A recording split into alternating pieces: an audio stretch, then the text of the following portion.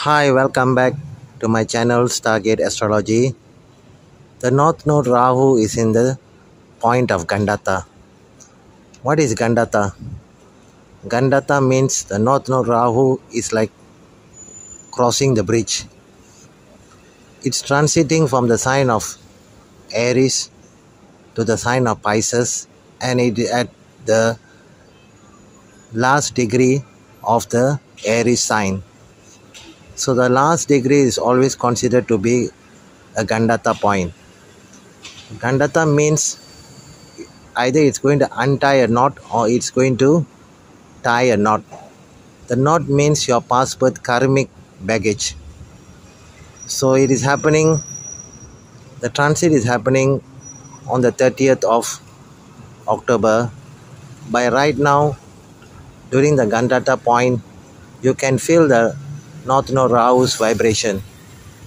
So it's the end, ending of something and the beginning of another thing in your life. So if you want to know what is going to happen, there's going to be a drastic change in your life, and that is based on your personal horoscope. Where is this transit happening, and where is the Gandata point?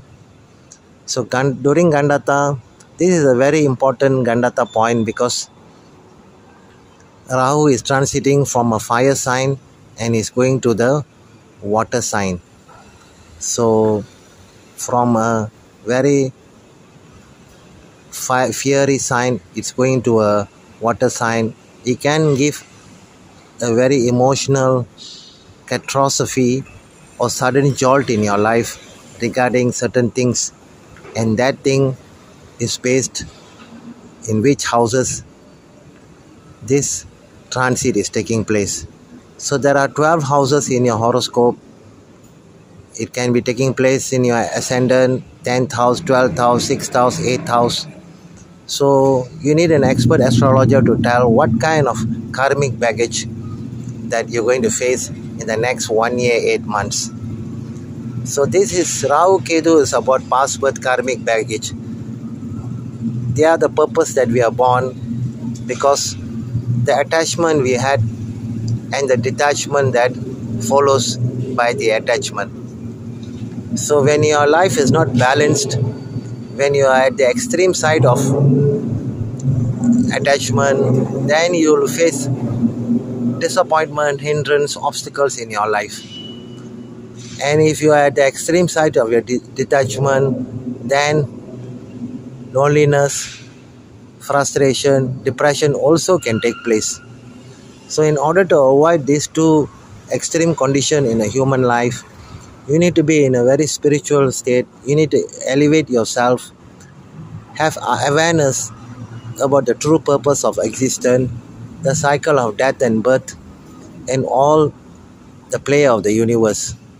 So, it's taking place in the sign of Aries in the constellation of Ashwini. Ashwini is about healing.